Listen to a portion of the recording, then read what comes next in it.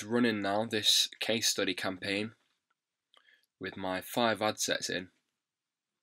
I've left this running for over four days and really I should have just left this three days and come and checked it and uh, you know taken action on the data that I'd received after three days.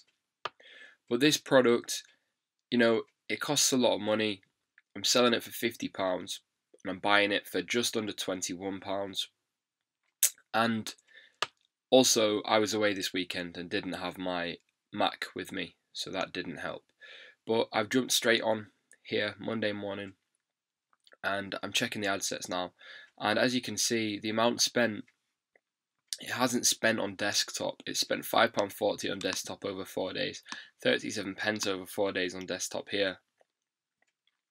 Whereas on iPhone, you know, it's been spending its total full full daily budget, which is five pounds. It's been spending its full daily budget, um, you know, every day. And looking at the data here, we are actually in profit with these three iPhone ad sets. Very slight profit. You know, it's not a lot of money being made here, but it is a profit at the end of the day. So what I'm going to do, the first thing I'm going to do is scrap the desktop ad sets for now, um, because they just aren't running, they just aren't spending. So I'm going to scrap them. So I've turned them off they're no longer running. I'm saving myself £10 maximum there. However, you know, it hasn't actually been spending money. But, you know, I've, I've got my uh, safety net there. I've got rid of this £10 potential spend. So now I'm spending £15 a day on this campaign. And what we want to do now, we've got three purchases, one from each ad set, which is nice. Um, we've got more add to carts in this one than the other two. This has less add to carts and in fact it's got a higher CPC. So whether that's to do with the age range, maybe, but it's too early to really make a judgment on that. What I'm going to do now is look at the breakdowns. I'm going to figure out perhaps maybe I've been spending the majority of my money on a particular country or region or device or placement. And maybe it's now time now that these are profitable maybe it's now time to work out where these these purchases have actually come from in terms of country region placement device etc and maybe it's time to start breaking out these ad sets scaling them out duplicating them out using the duplicate button into different countries into different ad, um, into different regions into different placements. So let's look through the breakdown. First of all we'll go to country.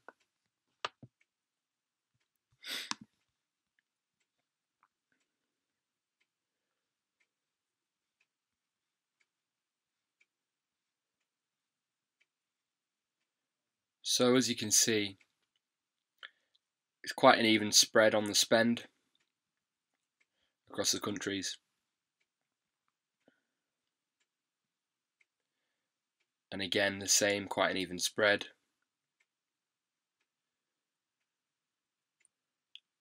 and this one quite an even spread however this one's quite heavily been spent on and that's interesting so looking at these let's check out the CPCs on each of these countries okay so you can't actually see the country name right now but what I'm seeing is um, Germany and Australia are the two countries that um, we got the purchases from. And all the CPCs, most of them, there's one that is above one pound here. That's Denmark. Don't mind telling you that. And then this one hasn't even had.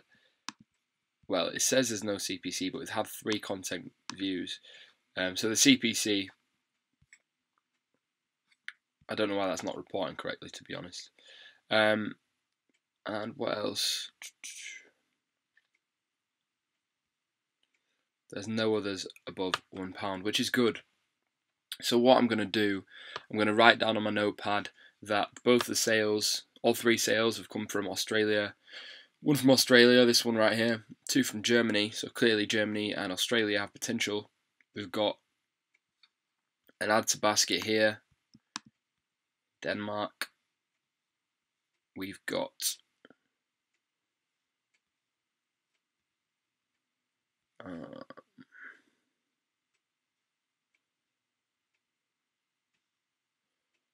and an add to basket here, which is the USA. And it's also worth checking out the data that you received off the two desktop ad sets that you've stopped running as well. As you can see, we only really spent money on Germany and the UK in the US. I'm not sure what happened here. Perhaps I'm gonna, I could do. In fact, what I will do in this video is duplicate both of these ad sets, and uh, I'll rerun them, and we'll see what happens. We'll see if they work properly this time. It may be a case that I've forgotten to put the locations in properly or something like that, but I doubt it. I think I just need to duplicate them and run them from scratch again. So anyway, I'm gonna I'm gonna leave the countries as is. I'm not gonna take out any countries. I'm not gonna add any countries. What I'm gonna do is scale out by duplicating and running ad sets to different specific countries or different specific groups of countries. I'm going to go off after this video. I'm going to write down in my notepad, I'm going to work out how much I'm going to spend um, and work out how to group these countries together or whether to just run to each country separately.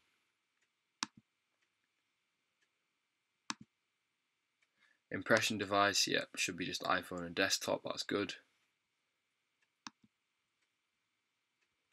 Platform, only running on Facebook.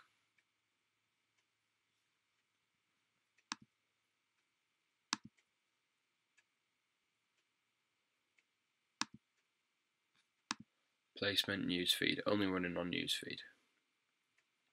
Okay.